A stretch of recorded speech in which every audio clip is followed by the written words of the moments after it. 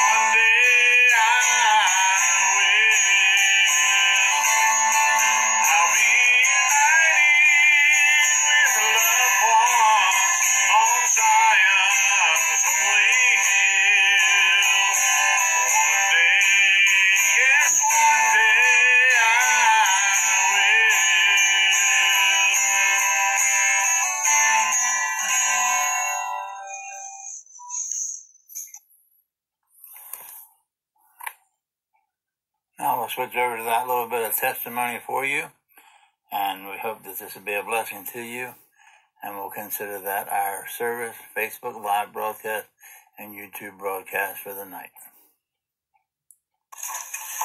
Glad to be in the Lord's house tonight? Say amen. Amen. Good to come apart from life and all the situations of the world and be in God's house and worship Him for who He is.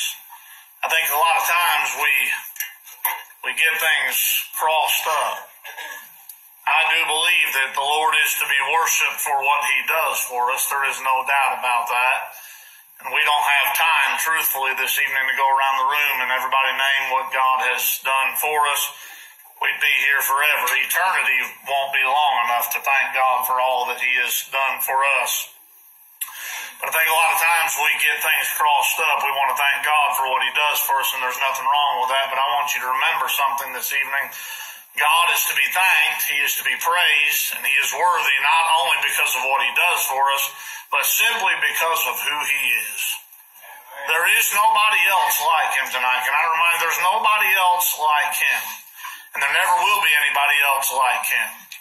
Uh, we were, I was talking with my two youngest boys the other day. Colton went and spent the day with me. I had some projects to take care of and he went and he spent the day with me and, and we stopped on our way home and, and got him a, a toy for, for helping me out for the day and uh, went to McDonald's and got him a Happy Meal. How many of you remember that? The kids love them Happy Meals. Got him a Happy Meal. And as you can imagine, when we got home, Kyton was fit to be tied because he did not want to go with Daddy that day. And he was he was all upset because Daddy did something for one that didn't. There's a couple lessons to be learned from that. One thing is that there's benefits to spending time around the Father. Amen. And I want to tell you that's true in your Christian walk. There's benefits to spending time around the Father. But see, Kyton in, in his in his childhood, in the infancy of his mind, he thought, man, there's just something about being with Dad because we get things. I think we do that with God a lot. I think we focus our relationship on God because of the benefits we receive from it. But guess what? I'm still the father whether I stopped at McDonald's or not. Anybody with me tonight? I'm still the father whether I ever stopped at the toy store or not. And God is still God. I might just preach this tonight. I might get rid of this. God is still God regardless of what he does for us or does not do for us. Simply want to pull back things from God and say, well, he's not operating the way I want. It doesn't matter. He's still worthy of being praised. That's why we don't praise him in the bad times because we feel like God shortchanged us. God has let us down. But I want you to remember the next low valley in your life, why don't you just try praising God? Why don't you try lifting your voice and praising Him? We don't have problems doing it when He's blessed us, right? I mean, we run into money we didn't know we had coming. We were like, oh, praise the Lord. God heals one of our sick loved ones. Praise the Lord. We don't have problems doing it then. In the next low valley, when things seem dark and dismal and in despair, why don't you lift your voice and praise God? Because I have news for you. His person hasn't changed. He's still God. He's still the Father, regardless of what he does or does not do for us. I just have that in my heart tonight. We ought to praise him. Let him have his way in our lives. Let's have prayer.